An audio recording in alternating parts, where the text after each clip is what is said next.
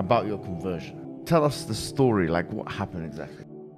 I was born in a Christian country. I was raised as a Christian, and I've always been very respectful of Islam. And it's just for me, it feels like the last religion on earth. I feel like there's no other religion. People say to me, "Why did you convert?" And I said, "I don't really think, feel it as a conversion. I, it's almost like I knew God was real, and now I've become religious." And they say, "Well, you were religious before." I was like, "Religious before how? Christian? Mm. What does Christian mean? Like, who's not a Christian? You go to Christian nations, and everyone says they're a Christian. Look how they live their lives. Go into the average church. Is anyone actually fearful of God? Anybody? Mm-hmm. No. The girls are out on Saturday night drinking, and then they turn up to church because their parents made them. Mm-hmm. Like, there's there's no substance to the religion, and also Islam um, very closely reflects my personal beliefs. I through my personal life I've learned that if you don't have standards and you're not a strong person who's prepared to defend his ideas, you will be crushed. And we look at most religions in the world today which are not prepared to defend their ideas, what's happened to them? They're just getting crushed. And now we have Christianity as an idea which has basically said well, we can't set any firm rules because everyone will just quit. So instead, let's make it so easy to be a Christian that nobody has to put any effort in, and then accept everybody no matter what, and hopefully we can keep the church doors open.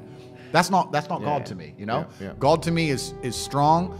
God to me is something to be feared. Yeah. God to me is something someone that people are afraid to mock. Yeah. God to me is someone that you have to go out of your way to prove something to. God to me has red lines. Yeah. Like God to me re- represents the Islamic faith. The Christian God to me, I don't see God. I, I can't explain. I don't see anything there. So. Yeah. To me, it was it was the only logical choice in the end. They genuinely have a problem with baseline morality. There was a time I was an atheist. The reason I am now so absolutely certain that God is real is because I've seen evil. I've seen shaitan. I've seen it. When you see enough evil, you realize that there must be an equal and opposite force. And there are people out there in the world today doing the work of the devil, genuine demons, who are trying to destroy the baseline morality that's inside of all of us. We're all born with some kind of morality, and they're trying to destroy it. I don't think most people understand that when they're doing this under the guise of tolerance, when they're saying be so tolerant that you no longer believe in right from wrong, they're not doing that to make society a better place. They're doing that to empty your brain so that you have no resistance to the slave mind programming. They want to get you to a point where if they tell you the sky is green, Yeah. you look at with your own eyes Yeah. and you see blue, but no, the sky is green. That's what they want. So that you have to have nothing in your brain that can prevent that. If you have God, if you have no, I believe this is right point. and wrong, Yeah, if you have personal responsibility, if you have self accountability, if you're a person who sticks up for what he believes, all that's bad to them. They want all of that gone so they can tell you the sky is green. You know, I've never been to like a music concert.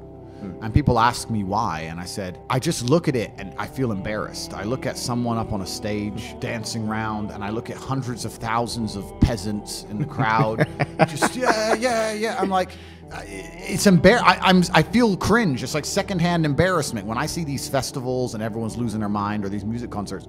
I genuinely feel embarrassed for the people who go because to me that is a form of worship. Like Yeah. you can listen to the music at home for free. You like you don't have to wait in that line and stand out in the cold. Like I, I've always known that they're trying to give us false idols to some degree. And when I speak to atheists, atheists they go, "Oh, I don't believe in God," but they they've signed up so hard to the liberal woke agenda. They're as religious as anybody, but they're just believing in the wrong things. They're believing in degeneracy. And they're believing in the work of the devil. So humans always need something to believe in. One one guy I was talking to since my conversion says it's interesting that somebody with everything, all the Western world, Yeah, everything yeah. everything somebody w- could want Exactly. has now converted. And I said, yeah, because even before my conversion, I understood that hedonism is a black hole mm. And you can never fill it.